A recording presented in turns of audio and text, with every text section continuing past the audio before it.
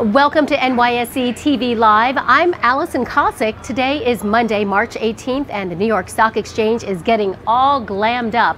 Elf Beauty, which trades right here on the exchange under the ticker symbol ELF, will ring the opening bell in about an hour, half an hour, as it celebrates its 20th birthday and 20 consecutive quarters of growth. The good vibes can't be contained just inside the walls of this iconic institution. Elf Beauty has given Experience Square a full makeover. The company will be handing out products and other swag. There's a makeup touch up station, even a race car. That's right, driver Katherine Legge has arrived right here at the New York Stock Exchange in style, and attendees will have the opportunity to take photos with her car. It's right out front. One of the first things you may notice when seeing the ELF name are the periods that you see in between each letter, ELF. And that's not just a look. The company founded in, in 2004 says celebrating the beauty of every eye, lip, and face is fundamental to its DNA. Elf Beauty says it's on a mission to make the best of beauty accessible of uh, every eye, lip, face, and skin concern through its brands Elf Cosmetics, Elf Skin, Keys Soul Care, Well People, and Naturium. Elf Beauty, which went public in 2016, trades on the New York Stock Exchange uh, under the ticker symbol ELF. One word the company is selling investors on growth. Elf Beauty says it has seen 20 straight quarters or five full years of net sales growth. Pretty amazing.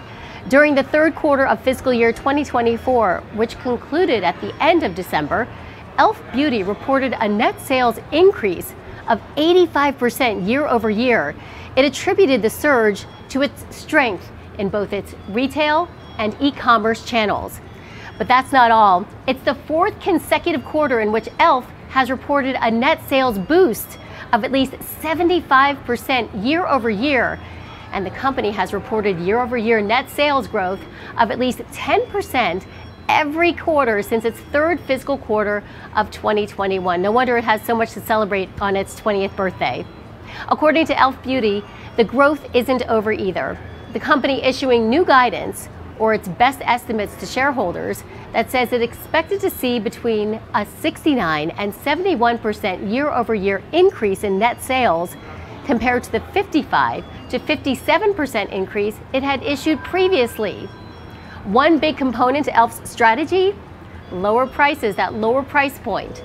During ELF's first quarter earnings call this past August, CEO Tarang Amin told investors that its average unit retails and its color cosmetics retail are retailing about $6 compared to the $9 for legacy brands and over $20 for prestige brands. It's got that lower price point.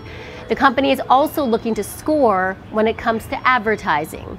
Last year, Elf Beauty teamed up with actress Jennifer Coolidge for its first ever Super Bowl ad. It then raised the stakes during this past February's Super Bowl.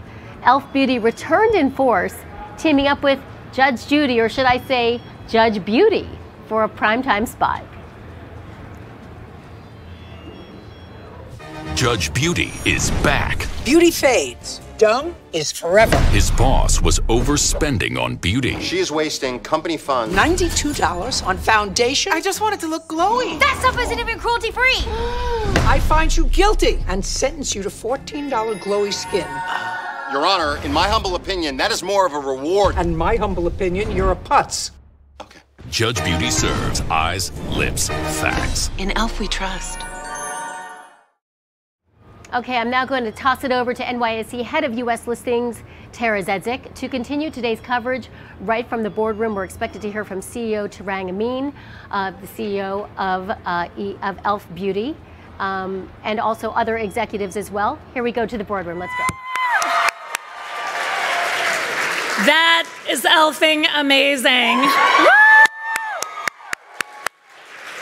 Good morning, greetings, and welcome to the New York Stock Exchange. For those of you I didn't have the opportunity to meet personally, I'm Tara Jejic. I head the U.S. listings here for the NYSE, and on behalf of our entire team, a huge warm welcome to the ELF team for 20 years of including, encouraging, and celebrating eyes, lips, and faces around the globe.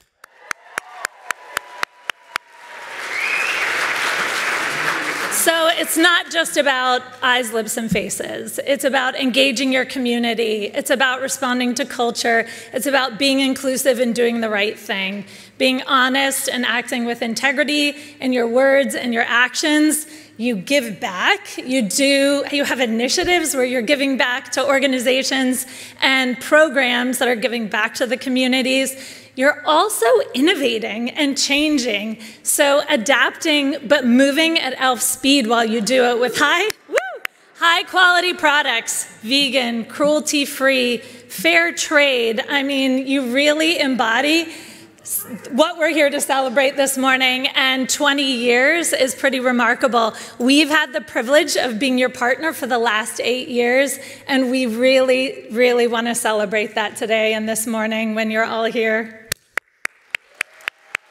So, another thing, huge shout out um, the way that the teams treat each other, but also embracing diversity throughout the organization, all the way to the highest seats of decision making. One of very few companies with two thirds women on your board. Woo!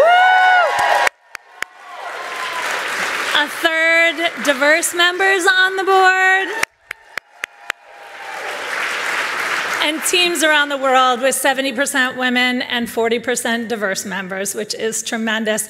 We love that you walk the walk and don't just talk the talk. Our board is also comprised of 60% women, and we're pretty proud of that. So we really thank you for the partnership. We continue to learn from each other. And without further ado, I would like to bring up your passionate purpose driven leader, your CEO. Okay, Tarang Amin. Woo! Thank you, Tara, and the NYSE for that really warm welcome and hosting us today. Um, on behalf of the entire exec team, all of whom are here, and our board of directors, most of whom are here, I would like to also extend a warm welcome to each of you. You know, we were in this very room, this grand old room, uh, seven and a half years ago, right before our IPO. And I remember that day vividly, like it was yesterday. I remember the pride, the Shamahs, both Alan and Joey are here, in seeing their baby become a public company.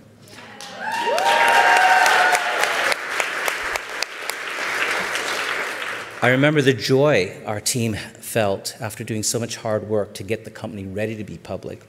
And of course, I remember the epic celebration that night, having had a very successful IPO.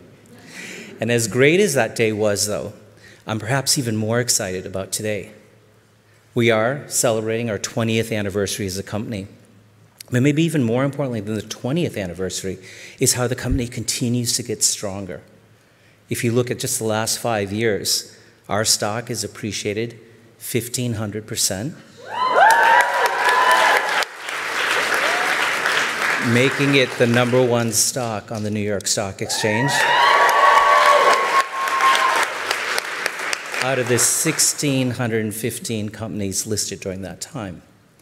We just completed our 20th consecutive quarter of net sales growth, averaging at least 20% growth per quarter, and we've more than doubled our market share. Now, as great as those results are, it's important to remember how we got them. Right? I think we're all united in our mission to make the best of beauty accessible to every eye, lip, face, and skin concern. And our five strategic imperatives, the relentless focus this entire team has had on them.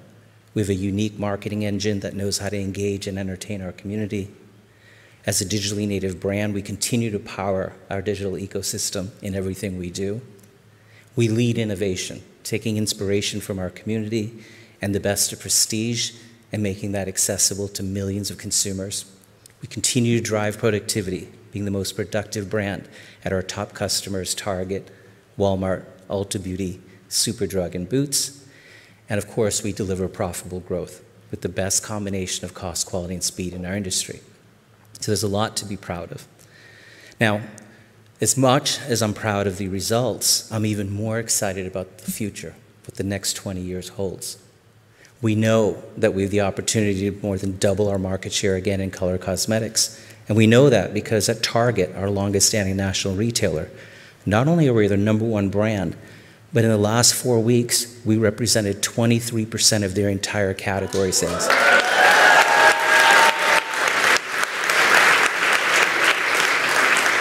Which is a pretty good indicator as others try to replicate their success.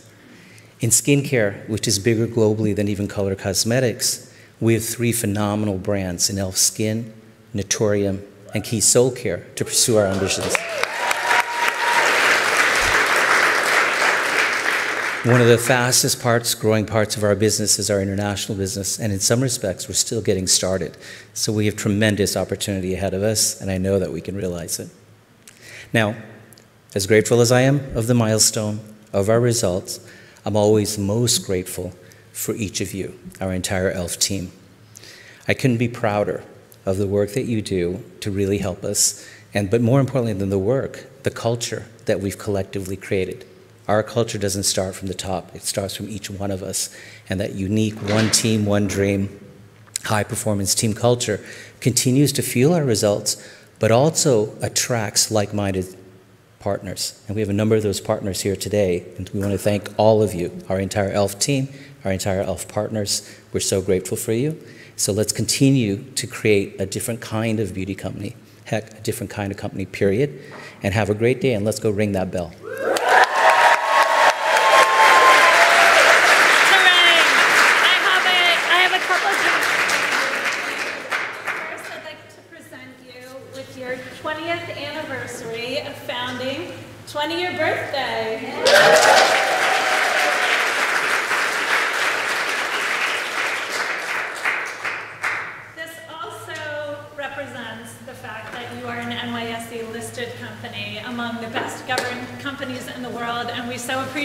Seven and a half years ago, we got to have a ringside seat to watch you raise capital to grow and scale your business, to expand to new geographies, and to create new services to literally change the world and improve the lives of global citizens. So thank you for that. I also have this medallion for you. We strike this oh, medallion for our bell ringers. On the front, silence.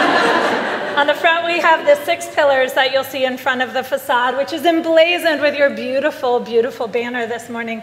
But we believe these pillars represent sustainability, transparency, opportunity, capital, innovation, and community, and we're tremendously proud that Alpha is a part of our listed company community. Great. Now, everyone here will get a smaller version of Tarang's uh, medallion. We hope you slip this in your pocket and remember how much fun we're going to have today, but also the values that you represent every single day when you um, build teams and come to work. So, for those watching virtually and on the broadcast, we are going to pass it uh, back over to Allison because we are going to go down to the trading floor and open a $37 trillion market. Tara, what a great celebration there in the boardroom. Uh, that's Tara Zedzik, uh, the NYSE head of listings, and you also heard from e.l.f. Beauty Chairman and CEO.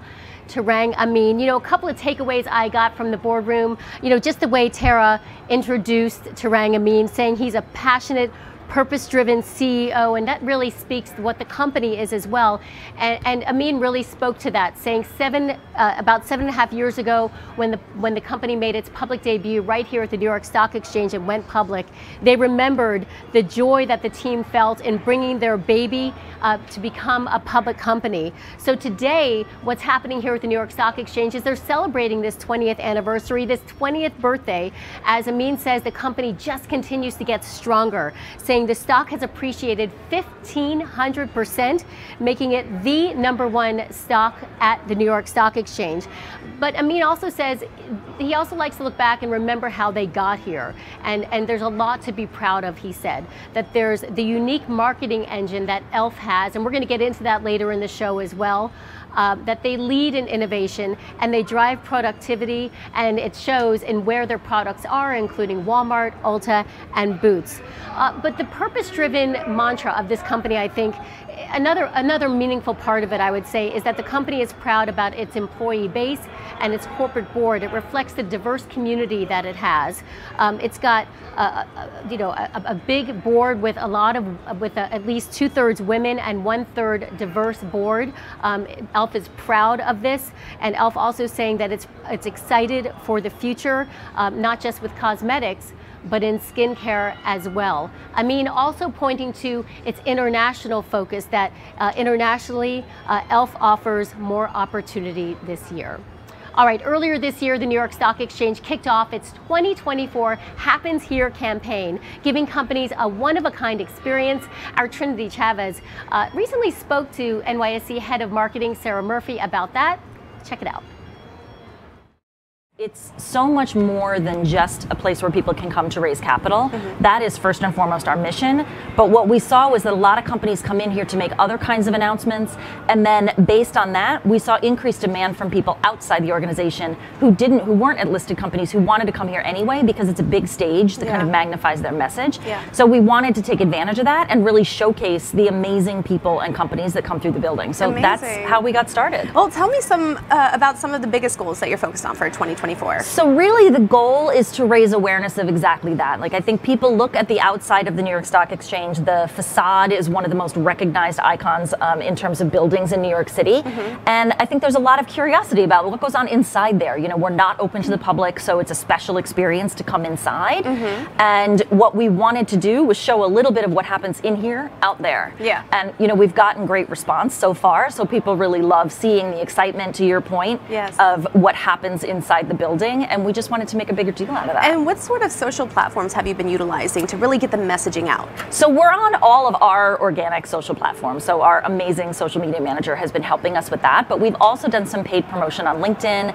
and on Instagram, and that's really where we're we're pushing to get that message out there to our target audience. And tell me about what the next phases are to growing this campaign. So we we started with a bang, right? we wanted to be on big platforms, so yes. we did social as you and I just spoke about, but we also did a bunch of outdoor. So we did really nice, large outdoor placements in New York City mm-hmm. that are ongoing. Mm-hmm. But moving beyond that, we're going to work with some strategic media partners that I cannot yet name.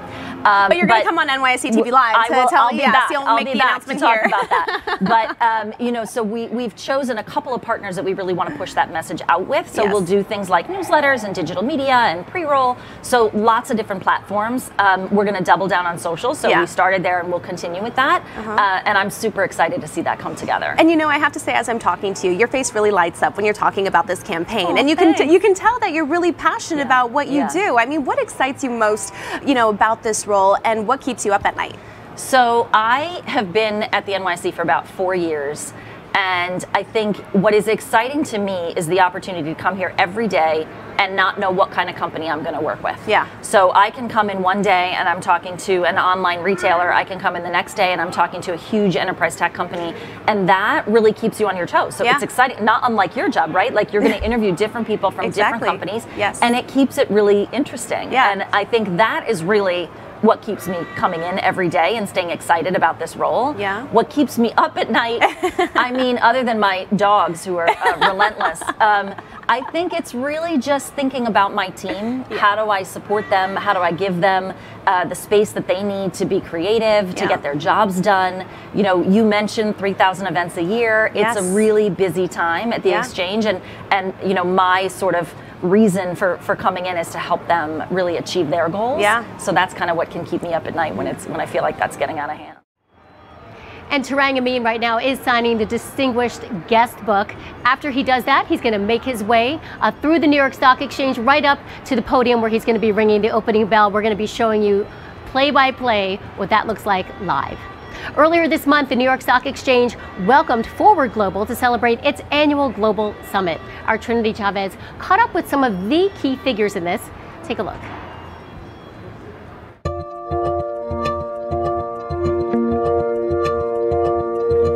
So Forward Global has their annual event in different locations, right? Why was it important to have it at the NYSE? Business, philanthropists, the social impact sectors, we really are more powerful together.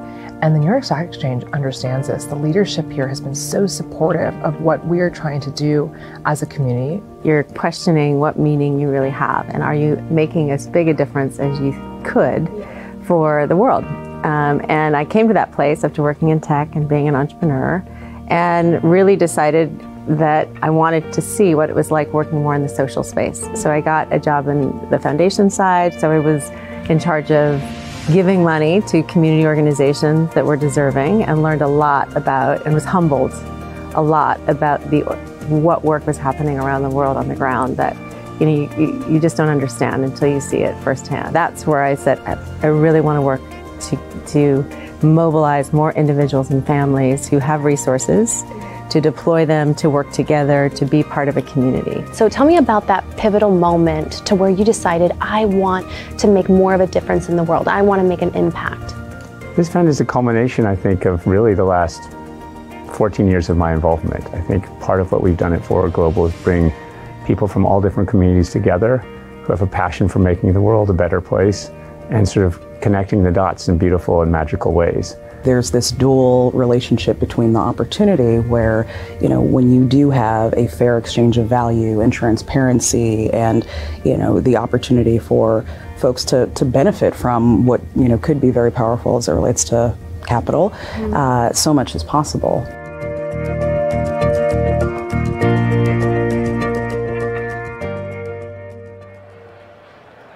And joining me live now is the head of uh, social media here at the NYSE, Laura Diorio. Who best to talk about ELF but you? To, uh, talk me through what's been happening here. Obviously, ELF going public in 2016, making its public debut. This is the first time it's been back. Yes. Talk me through what you're seeing. Well, I love ELF not only as a consumer but also on social. They are the top when it comes to content and product. I'm actually donning a bit of ELF myself today. See that. Thank you. A bit of the halo glow, a bit of a contour wand. I'm a big fan. So I basically grew up with ELF, so it's such an honor to be able to support them on social media today with a ton of opportunities. I actually visited ELF HQ a couple weeks ago in New York to make a bit of a, yeah, to bring them back to the New York Stock Exchange. So that video will be going live later today. Oh, I can't wait to see. it. I know, I'm so excited to roll it out. It features footage from their IPO, but also of the amazing activation we have outside. And of course, I got to throw that bell ringing in there soon when I catch it. What is it about ELF's sort of way of of and its strategy on social media that really draws us in? You know what? Those 20 consecutive quarters of growth are no joke because ELF is constantly following every trend, almost ahead of the trend, right? They are following generations upon generations of makeup lovers. My mom uses ELF as well as me, so it really encompasses this multi generational aspect where I think ELF is really for everybody. And they follow that on social. I mean, they keep it up on TikTok, Instagram, X, LinkedIn, everywhere. So wherever they are, I am. yeah, I am definitely glued on social media to everything Elf is doing. Laura Diorio, yeah. thanks so much for all of your great insight. Totally, thank you. All right, let's go to a quick word from the NYSE.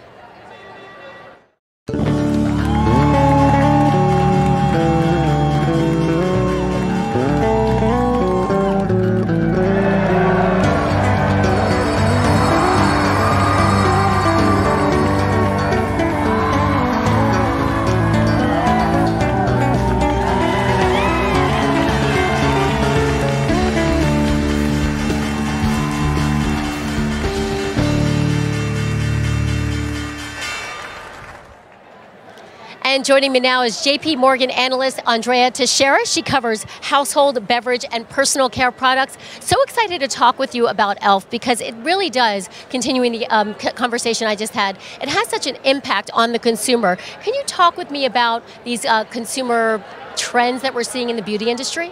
Absolutely. Uh, ELF comes in and it's in the intersection of these consumer trends, basically having all the, um, when you think about the consumer, and taking the consumer um, in all ages, in all consumer cohorts. ELF comes in in the intersection of that, affordable luxury, and first to market with products that are prestige, but in the same time quality. Talk with me about skincare in particular when it comes to the major trends that you're currently seeing, particularly with younger customers and older as well. Yeah, the consumer through COVID and even prior to COVID looked at wellness, and wellness is is really where uh, you see energy drinks, you see cosmetics, and especially skincare. As we look to to to have these consumers graduating, and even Gen Z consumers coming into the category, uh, women, men, it's really uh, democratic in the sense, and in particular for skincare, they're bringing in quality products at very affordable prices. Where do you see even more growth? Skincare or cosmetics or just both? Both, but skincare definitely has more growth here because you can see more and more consumers of all ages affording to come to skincare and having these uh, dermocosmetics in particular through the e.l.f. brands, Naturium in particular now, and even e.l.f. skin brands, as well as uh, Estee Lauder with uh, The Ordinary again, affordable entry level points, recruiting more consumers, and then as they age, they will continue to the category. Tell us more about how ELF do you think is leveraging its platform through other mediums like social media and even gaming? How is that working? Yeah, it's the beginning of all of this. ELF has been really the precursor of all social media. They are social media native. They were always been direct to consumer. They have 4 million uh, four and a half million beauty squad members, which tells you and talks to the, the power of the, uh, the brand, recruiting these consumers. And at the same time, they can um, make it so viral because uh, basically it's their own consumer voting with the dollars because it's affordable and at the same time has good quality. How do you think ELF is adapting to industry changes that we're seeing in the direct to consumer chain? So they started with direct to consumer, and then with that, they were the very few brands, you can say that, that were able to graduate from direct to consumer into uh, large retailers. They were the first to come to Target uh, as a native, uh, digitally native uh, company. And from that, just now, they reached 23% market share in Target. And you can still see at Walmart and all these other retailers coming in, they will continue to grow. So both, they do both. It's amazing how they can do and work for both. Andrea Teixeira, thanks so much for your great analysis. All right, let's go to let's go to a quick word from the NYSE.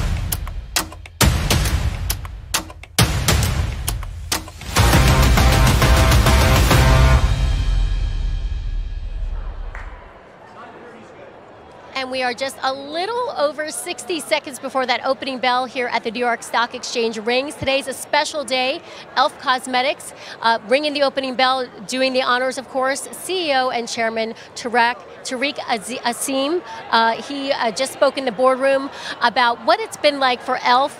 Uh, from its days of before uh, becoming listed here on the uh, New York Stock Exchange and now as a listed company, one of the top listed companies here at the New York Stock Exchange. Tariq Amin uh, speaking about how uh, the joy of, of what the employees and the executives felt seven and a half years ago, 2016, when e.l.f. Cosmetics uh, had its public debut uh, here at the New York Stock Exchange, and how the company just hasn't forgotten about all the hard work that it's done to get here at the New York Stock Exchange. Taking a look at the bell, uh, we're getting ready for Tariq Asim to uh, ring that opening bell. Outside right now uh, is a on Experience Square is a huge array of fun things to do. You can get your makeup done, grab a sweatshirt, have a coffee. Uh, Elf Cosmetics really celebrating in elfing style uh, its 20th birthday, really doing it up in style. If you have a chance, come on down here to the New York Stock Exchange and join in some of the fun. All right, to the bell, let's go.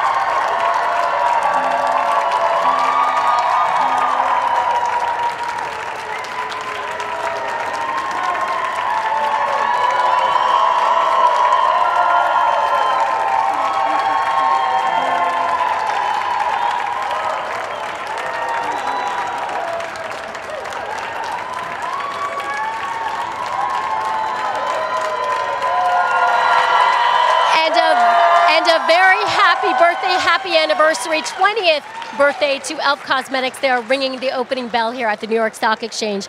Joining me now is the Einstein of Wall Street, Peter Tuchman. So excited to have you with us today. My pleasure. us talk about the Fed two days away from uh, its its meeting. What do you see happening? So, look, I think we were coming into this. We had had nothing but sort of positive inflation uh, uh, commentary up until recently. The last three weeks, we've seen three different indicators come out that are pointing to a little hotter inflation number. We are now looking at a probability of three 25 basis point cuts in 2024, down from six. Okay, so what do you think? The, is this what the expectation is, or how do you see the market reaction? What they're look, it, it's all about expectation. Markets don't like to be given expectations and then under delivered. Right now, up until this point, we've seen the, the market has responded quite favorably to everything that's going on. We're still trading at record highs, although over the last number of weeks, PPI, CPI numbers that came out were a little bit hot. It's look, uh, people can't expect that the Fed's monetary policy is going to immediately have the effects it's going to. I mean, people need to be a little bit patient. We may have to sit a little bit longer with interest rates the way they are until we get things to settle down. But is this what? So this isn't what the market is expecting. So what could we expect in the trade? Right, right, right now, it's all about the probability, right? We don't know what the Fed is going to do, but the numbers that have come out that are a little bit hotter than usual are now making the probability look like three cuts in 2024. Is that what we're going to hear from him this week? Very possibly. You never know, right? You're going to see. Obviously, we're not getting a number this uh, uh, Wednesday, but we are going to get some level of expectations what the probability is. Right now, markets are pricing in three cuts as opposed down from six, which is quite substantial change. And this, of course, coming in because, or your analysis coming in because inflation came in hotter than expected. Uh, Nothing but uh, really good numbers, but you have to realize that the look, we the, the markets can't respond as quickly as people's expectations are. Over the last couple of weeks, we had a PPI, a CPE, and a, a number of other numbers that were a little hotter than expected. And so, the look, federal the fed's decision making is economic data driven and when the data that's what i like about them that they are they will they are um, uh, they will adapt to the numbers as necessary. And if the number's are a little hotter, they're going to adjust their number. And clearly, uh, they immediately did by cutting it from th- six to three. Okay, obviously the Fed is the biggest story this week, but what else do you think investors are going to be looking at this week? You know what? I think everybody's going to be looking at the Reddit IPO. We're here celebrating Elf's IPO, and they're they're uh, uh, coming to the public markets here, and they've done really well. That whole sector, the beauty sector, is an extraordinary one. I think it's great because it celebrates women in a big way, especially companies that are founded by women here on the floor. Obviously, the next big deal is going to be Reddit and how the IPO market is going to respond to that. Right now, as I read this morning, it's oversubscribed five or six times already. 77 million daily users. It's a hot number, it's a hot topic, and we're super excited to get listings, the whole landscape of the I- IPO market. We need it to be robust in 2024, and so far, I think this will be a good gateway into that level. Ultimately, how do you see the IPO market for 2024? You know what? Uh, look, I'm, I'm, I'm. Um, I'm hopeful that it will be better. You really never know. In an economy that seems okay, in a market that seems strong, I think we're going to start seeing companies come to public. When the landscape is a bit skittish, companies are a little apprehensive about coming to market. But right now, with the market trading at record highs, hopefully a new hot number coming out with the Reddit numbers, I'm, I'm, I'm, I'm very positive about the year. All right, Einstein, so great talking with you. Thanks for your analysis. Thanks, guys. All right, we're about to go outside and experience Experience Square with e.l.f. Cosmetics. Uh, but first, our Judy Shaw caught up with some wonderful uh, women in the beauty industry. Listen to this. Boss Beauties, um, I started it in 2021. We started in the Web3 space um, with a collection of digital collectibles. Um, we had success there where our digital collectibles went viral. But it wasn't about that. It was really about starting this company that could impact the next generation of women and girls. Um, so that's really what's at the heart of Boss Beauties. And today is our book launch, um, Boss Beauty, Inspiration to Be Everything You Want. Um, you know, we featured some of our mentors in the book with their wisdom and their advice. And it's really, really special to me to share their wisdom with the world um, starting in Web3 in that digital space in emerging tech. and now bringing that mission out through a physical book, which can be in the hands of women and girls all over the world, is really, really special to me. Now, Dahavia, let's talk about Serena Ventures. Talk to me about the mission and what drove you to partner with Boss Beauties. Yes, um, so Serena Ventures is an early stage venture firm founded by Serena Williams. The overarching thesis is to invest into solutions that impact the everyday lives of everyday people. One of our core thesis areas is um, financial equity. Um, and we invested into Boss Beauties and Lisa's company about two years ago, and it touches on a, a, few things. One is the financial equity piece. When the company was launched, it was helping increase access to alternative assets for um, minor, women and minorities. Um, and then also something that's also very important to us is founder market fit. Um, and we were just chatting earlier, and um, Lisa was mentioning how like this is just a huge problem that I think it's your life's work. Um, and that's something that's very important to us also. Mm-hmm. Now, Judy, we're also here today highlighting the Breakthrough Tech Sprinternship. It's a project that you have. Um, so, talk to me about it. Talk to me about the project and how it's bridging the gender gap in tech. Yeah, so we've had a diversity challenge in tech for a very long time. Uh, there's a fierce urgency of now with the explosion of AI. Uh, there are a lot of reasonable concerns about ethics and fairness and bias in algorithms. And uh, we can worry about governance and policy, but our first line of defense against those concerns is not the what and the how, but the who. Who's in the room, who's at the table, who's making the important decisions. And that's what Breakthrough Tech is all about. We run the largest AI program in the country focused on uh, launching a diverse group of tech talent. Uh, and we do it uh, by democratizing access to opportunity. The Sprinternship program, a micro internship program that gets these students who go to universities that are off the radar of many industry recruiters. And we give them access to something like a micro internship, which our partner Boss Beauties has been hosting.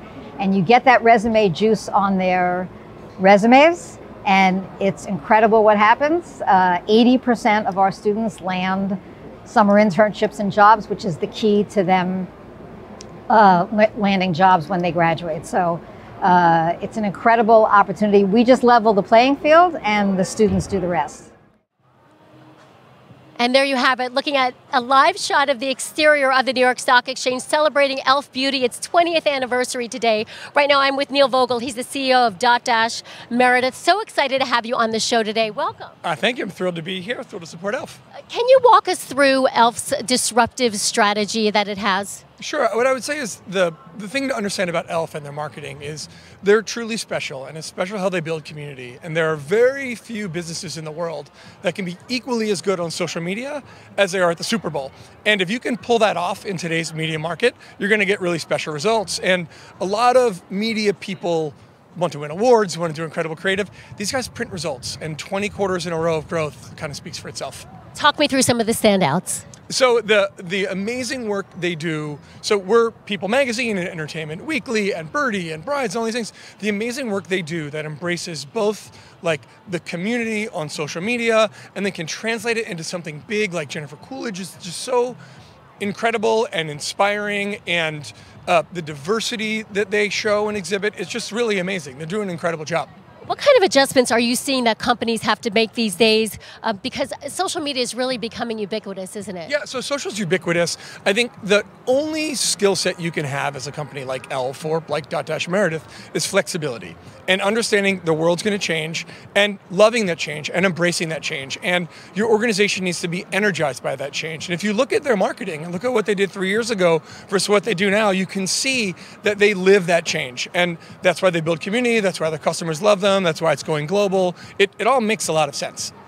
And some some companies do it right, and some companies don't do it right. What's what's really the trick here? I mean, I don't want to tell you who doesn't do it right. I think I think what what what does do it right is really understanding your audience. And I think if if you talk to Kory, their CMO, or any of their team, they always talk about building community and understanding who is using the products. And in a modern world where social media is super prevalent and really important, and where populations and customers are much more diverse than ever, they've really built an incredible community and it resonates. And again, you can see it in the results. There's a reason why they're growing like they're growing Talk me through some of the trends you're seeing with Elf's uh, consumer base, and how do you think the company is finding ways, you know, to continue connecting with them? So I think it's interesting when when you start looking at trends in the markets in which they serve. They serve a whole bunch of different markets. And there's two trends. There's trends in what people want, and that's authenticity and representation and seeing themselves in the products. And then there's trends in media. And certain of your customers are going to read print magazines, and certain of your customers are going to be on TikTok, and certain are going to be on the internet, and certain are going to want to watch the Super Bowl. No group is more valuable than another group, but you have to reach all of them and you have to identify with all of them, and that's what they're really good at. And social media really is king. Social media is king. I mean, social media is king. Um, if not for the reach, for being in the zeitgeist. And you have to be in social, you have to resonate in social. And again, social, the thing that works on social when you're a media company like us is you have to be authentic. And these guys are authentic. And it, I don't know any other way to say it is the universe can smell bullshit. And these guys are so real and legit, it's why it's all clicking. Uh, such a pleasure getting your expertise, Neil. Thanks Thank for your you. time. Thank you.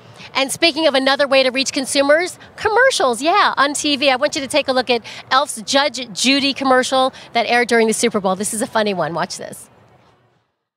All rise. Judge Beauty is back. Beauty fades. Dumb is forever.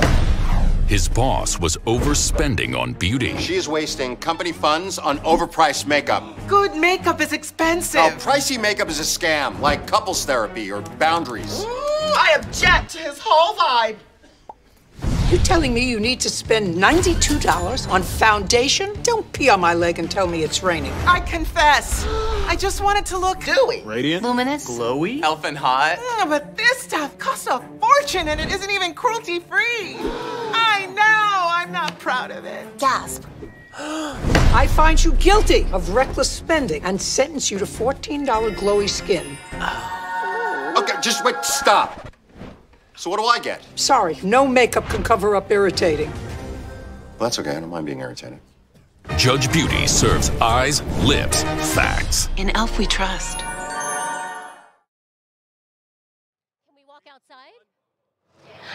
And we are back here outside the New York Stock Exchange. Uh, I'm with uh, Tara Jejic. She's the head of U.S. listings right here at the New York Stock Exchange. So glad you can join us this morning. Talk us through how the exchange is so great at creating these memorable experiences like this for listed companies. Absolutely. So it's not just when a company debuts on the NYSE. I mean, you only get one birthday, but it's big milestones like a 20th anniversary of founding. We bring, we have no greater joy than bringing visibility to these milestones, key initiatives, product launches. So today, 20 years, Elf was founded 20 years ago, been listed for seven and a half years, and you know, we really like leveraging our platform and Experience Square to amplify the messages that the companies have. Can you talk me through, maybe walk us through what we're seeing? We're, we're seeing the back part of it, but maybe talk me talk us through what we're seeing. Sure. So this is an amazing activation this morning. So Elf is tremendous at listening to their community, their customers, to really tap culture and figure out what is resonating out in the market. What better place than to test it live, real time on Wall Street? So what are we what are we seeing here? So we have back end, but we have the back. Yes, we have uh, the oil change station where products, and we have uh, literally makeup artists here who are doing live makeup artistry and amplifying, enhancing, including, and celebrating the eyes, lips, and face of this crowd out here in front of 11 Wall. It's a big party too. We've got a DJ here. Uh, Come on, Allison. The lip, the, Break it down. the lip oil is really, uh, it's full size here, which is crazy. Yes. I know. I'm about to go get a lip oil change. I'm feeling a little dry. I know I'm going to feel much more rejuvenated and energized after this. Oh, Tara, it's such a joy talking with you. Thanks for walking us through what we're seeing here at Experience Square and celebrating the 20th anniversary of one of your top listings, Elf Cosmetics. Thanks so much. Thanks, Allison. All right, that's going to do it for NYSE TV Live. Tune in later today when we're going to take our coverage to Las Vegas, where Trinity is, uh, to cover the closing bell at ICE Experience. I'm Allison Kosick. It's been so fun. Have a great day. Iconic brands speak for themselves. The strongest brands stand the test of time. We are so excited to welcome you to our community. Today is all about you. We've never lost sight of what we're trying to do and deliver that mission. Going through this experience with my partners and my families has been unbelievable. We imagined something that didn't exist yet, and we believed that we could do it. You're going to look back on this accomplishment as one of the finest you've ever done. Want you to know that the best is yet to come.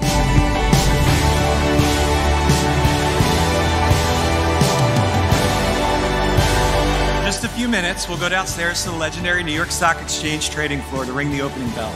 The history here, the tradition, it's just incredible for us to be at this moment.